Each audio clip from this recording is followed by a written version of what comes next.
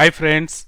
In previous tutorial we have seen how two interlinked combo boxes worked. Now we'll interlink three combo boxes. So here you can see I can select a class 6. Now if it is all then all the records will be displayed by default it is all so you can see all the records but you see we have a pass and fail system where it's more than 60 it is pass so here the name and the mark is displayed so if I want to display only the pass students then I can just select here pass.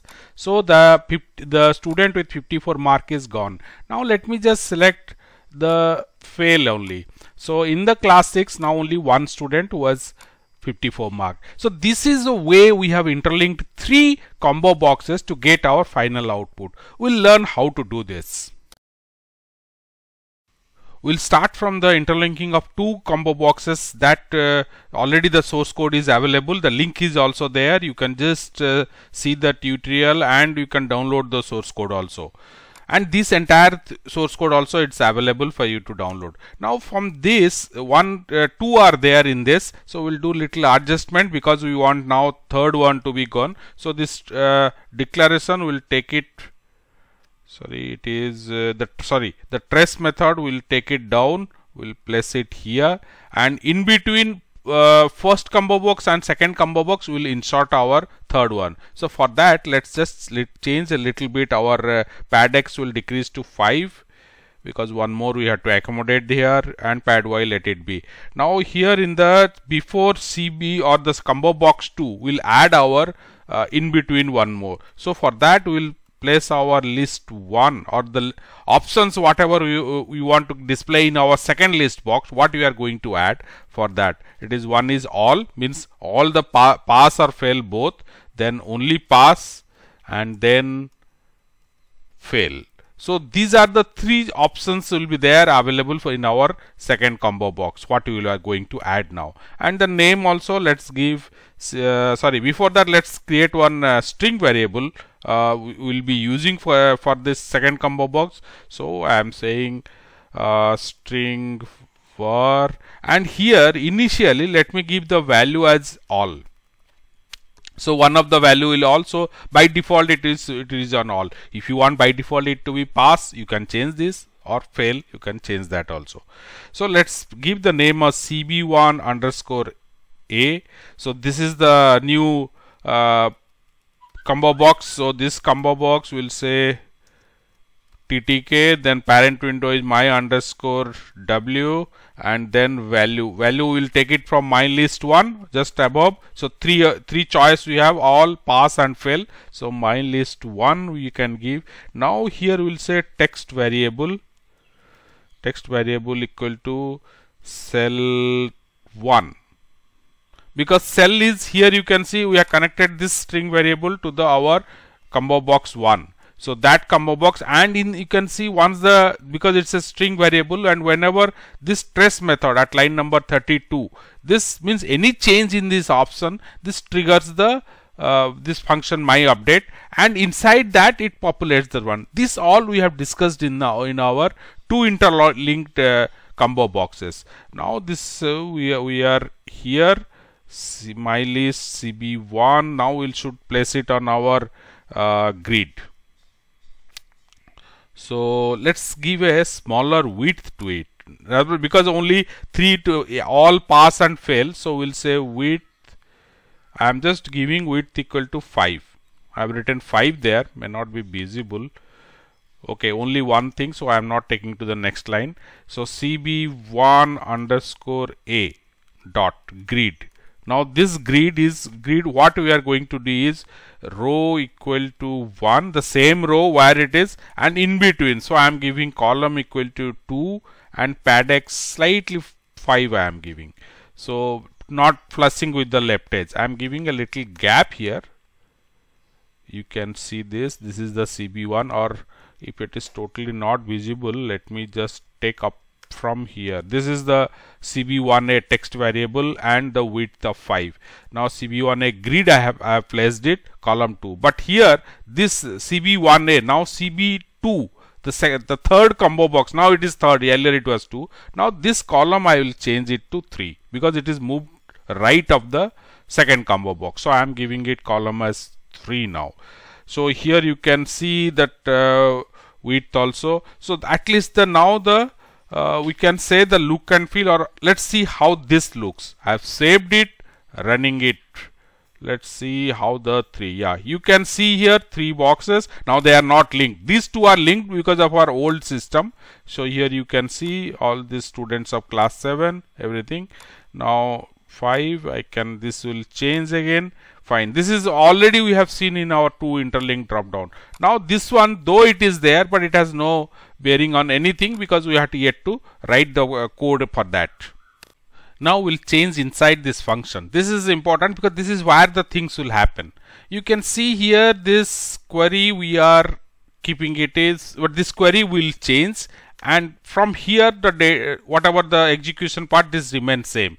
This query will change it a bit now and say that instead of getting a name because we want to now uh, differentiate with the mark. So let's read the mark also and display it as a one item. So for that we'll say name and instead of only name we'll take it a mark also. So what you will say we'll say concat.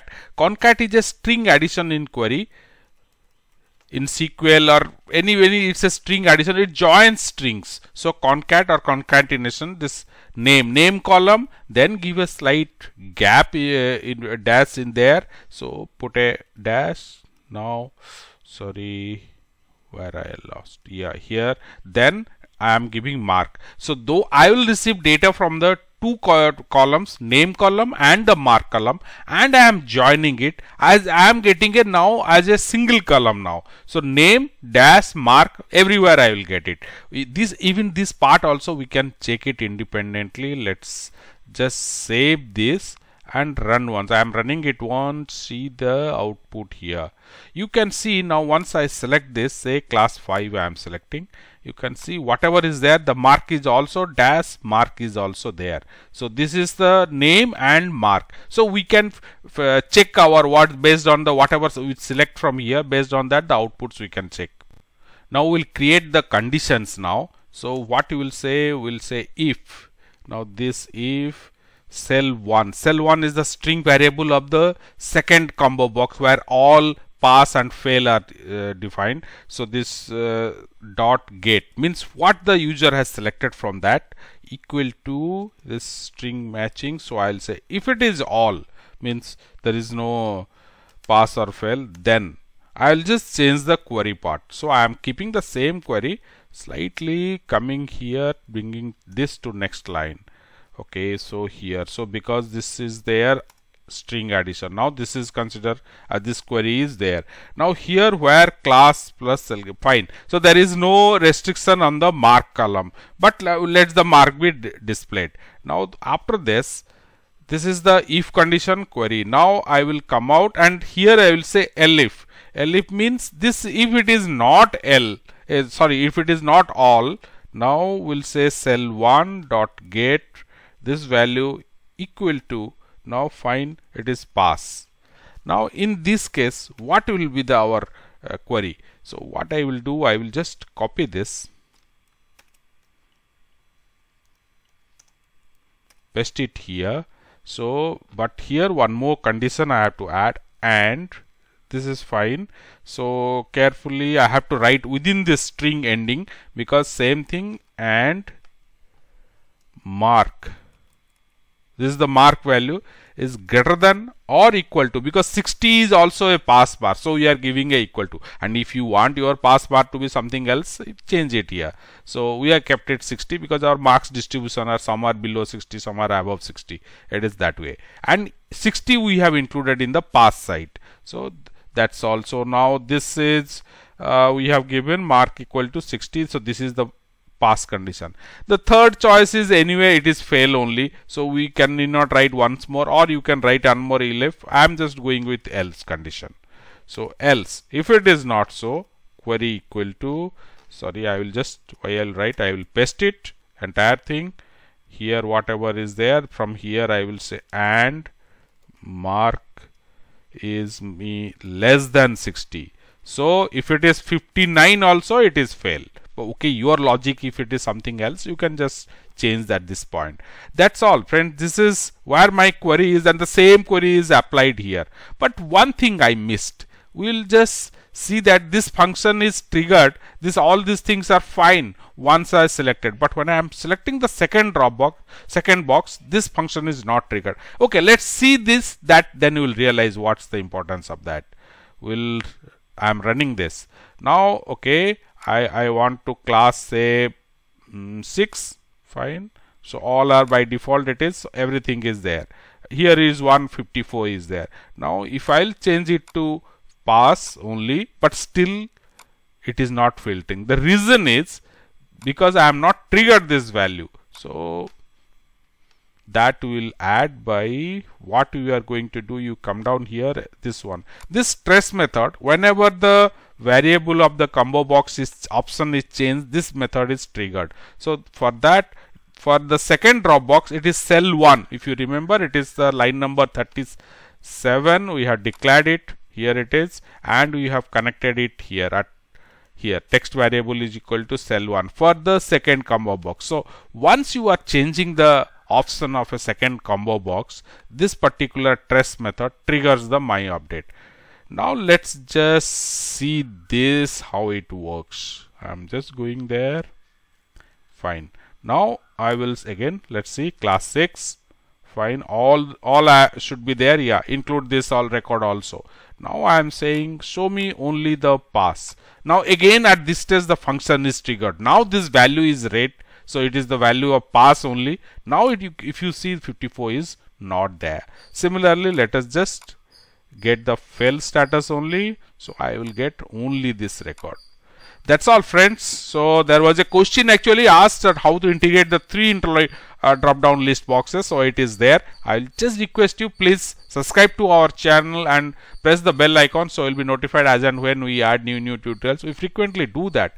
Please share this video with your friends and request them to subscribe also. And you can entire source code you can download it. Link is at their bottom for the both two interlinked and three interlinked. Both are there separately. Try with the second one and two interlinked uh, combo box then move to the third one.